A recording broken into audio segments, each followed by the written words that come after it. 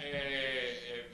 Ennesimo appuntamento della campagna elettorale per le elezioni europee del nuovo centrodestra a Sant'Agata Militello. Nella sala conferenze del Museo De Nebrodi sono intervenuti ieri due dei candidati nella lista dell'NCD UDC per il voto del 25 maggio, l'europarlamentare uscente Giovanni Lavia ed il deputato regionale Nino Germanà. I due candidati, affiancati dal senatore Bruno Mancuso e dal deputato nazionale Enzo Garofalo, hanno ribadito la proposta politica del partito del leader Angelino Alfano nell'ottica di un'Europa un'Europa a misura di cittadino che sia meno distante dalle esigenze della popolazione e sia capace di dare risposte concrete alle grandi necessità della cittadinanza. Abbiamo bisogno di applicare in pieno la nuova politica agricola comune per avere aiuti a tutto il sistema imprenditoriale e, un migliore, e una migliore politica di sviluppo rurale.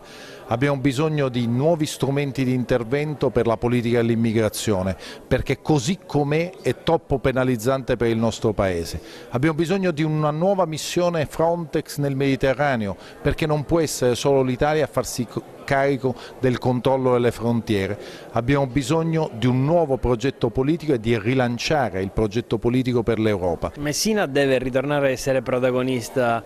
nei tavoli che contano, nei tavoli regionali, nei tavoli nazionali e Messina deve anche avere la possibilità di andare in Europa a battere i pugni. Con grande soddisfazione credo che anche questa, la sala piena di questa sera eh, significa un significato importante che siamo riusciti a trasmettere al meglio il nostro messaggio, il messaggio di un partito territoriale, di un nuovo centrodestra, di un partito neonato che ha soltanto, soltanto, eh, cinque, neonato soltanto 5 mesi e riesce a dare fiducia alle persone